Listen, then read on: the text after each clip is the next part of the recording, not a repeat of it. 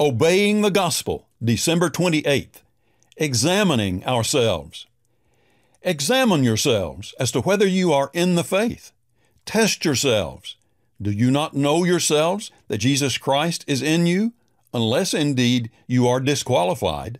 2 Corinthians 13:5 in the New King James Version.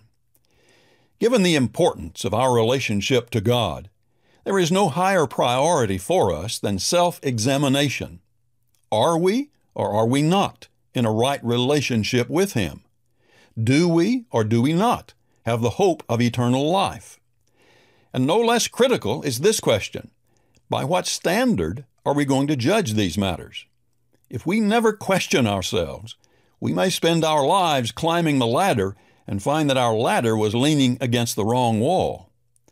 Paul's instruction to examine yourselves as to whether you are in the faith was written to a group of Christians. One of the worst things a Christian can do is take his salvation for granted. Without self examination, we may find ourselves in the same situation as some of the Corinthians, with a confidence about being in the faith that goes beyond what is warranted by the facts. But what is the application of this principle to non Christians? If you are presently committed to some other path, is self examination something you are willing to do? If the gospel of Christ is true, your salvation depends on letting go of your present position.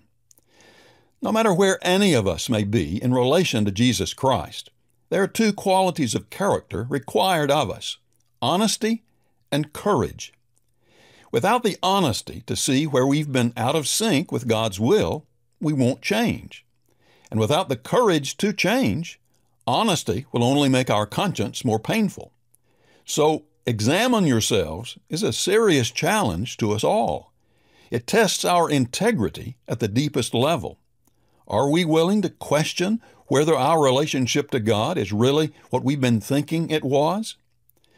None of us gets to any significant destination without making many mid course corrections.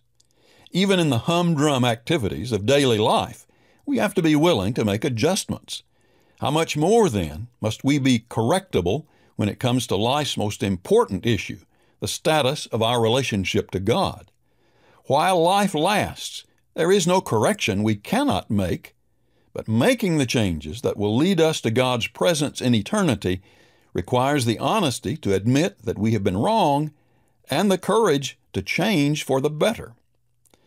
A.W. Tozer was correct when he said, Absolute candor is an indispensable requisite to salvation.